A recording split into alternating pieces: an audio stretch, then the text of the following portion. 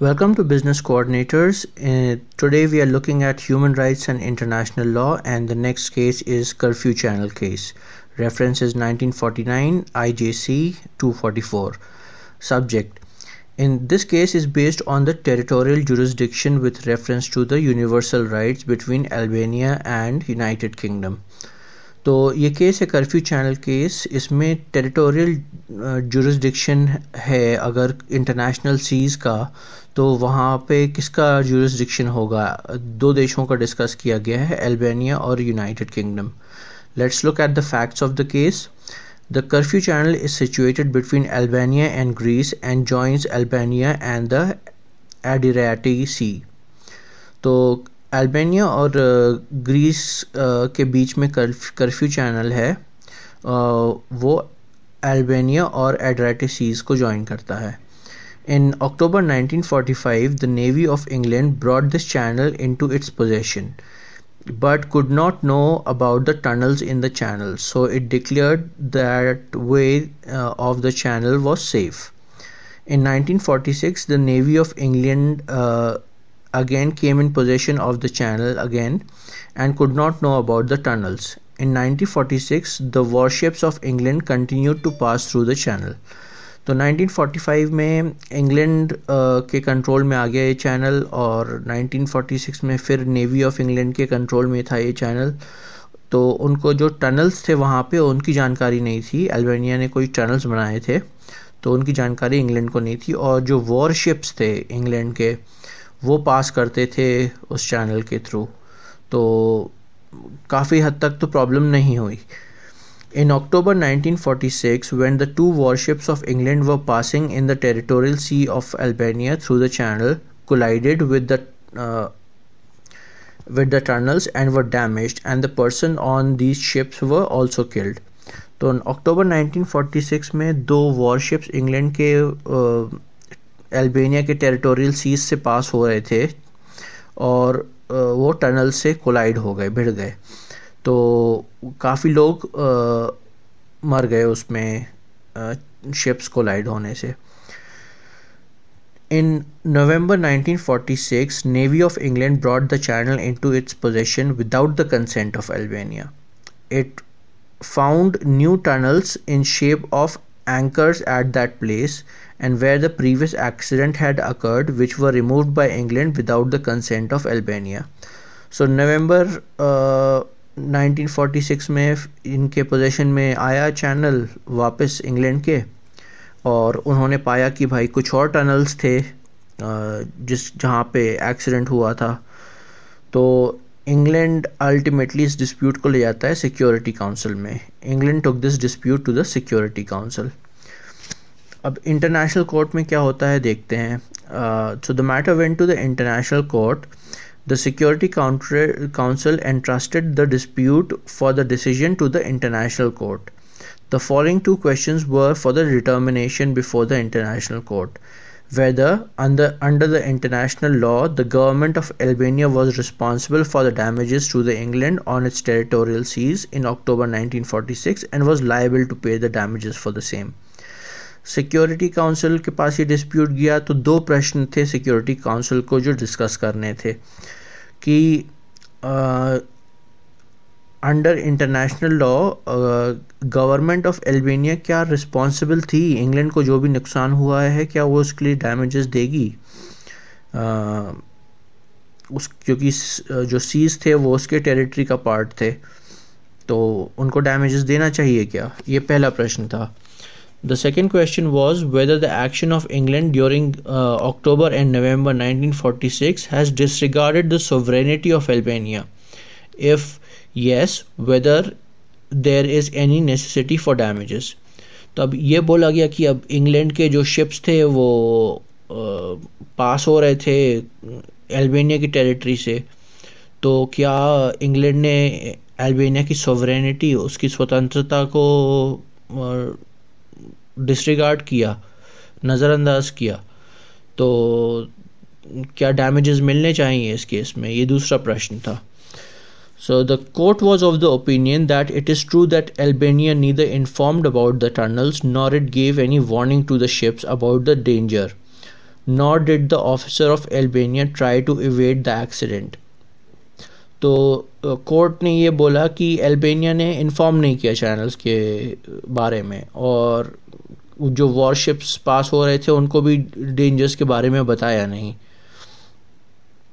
कि ऐसा कोई एक्सीडेंट हो सकता है या नहीं। And not did the officers of Albania try to evade the accident अब वो एल्बेनिया ने एक्सीडेंट अवॉइड करने की भी कोशिश नहीं की। There is an international liability on Albania for this serious commission. The court therefore reached the conclusion that Albania is liable for damages for the loss caused to the warships and to the lives of persons of England. तो Albania की ज़िम्मेदारी हो गई जो भी damages हुए उसके लिए और वॉरशिप्स को और जो लोग मारे गए थे उस एक्सीडेंट में So far uh, as the second question is concerned, the court was of the opinion that according to the international customs, during the peace times, the warships have a right to pass through the passages or channels joining two seas, which have been used for international transport without the consent of the coastal states. If the transport is innocent, it is the general principle the allegation of Albania that curfew channel is not an international passage is not true. तो ये बोला गया कि भाई अगर warships पास भी हो रहे हैं किसी इंटरनेशनल सी से या इंटरनेशनल चैनल से तो अगर इनोसेंट बिहेवियर है कि सिर्फ़ एक जगह से दूसरी जगह जा रहे हैं तो ऐसे में कोई ज़रूरी नहीं है कि uh, हम उन स्टेट्स को इन्फॉर्म करें कि हम यहाँ से वहाँ जा रहे हैं तो, तो ये प्रिंसिपल माना गया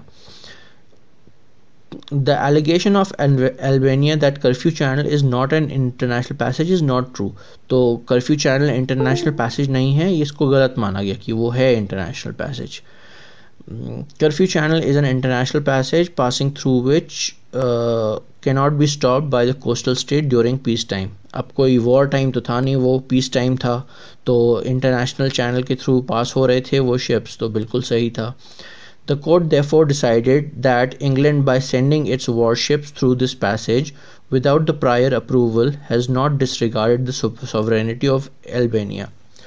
तो